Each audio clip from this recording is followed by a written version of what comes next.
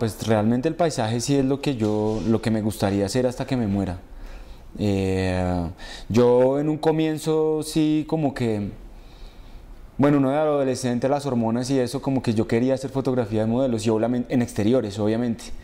Pero no, me encontré, o sea, lo que uno puede conocer y las experiencias, lo enriquecedor que es viajar por la geografía de un país y conocer muchas cosas, pues no lo cambio por otra, por otra rama. Desde luego que comercialmente tengo que hacer mucha, me tengo que mover en muchos, muchos otros campos porque pues, pues sí, le toca a uno, pero, pero lo que a mí me gusta y lo que espero ser hasta el día que me muera es ser fotógrafo de paisajes.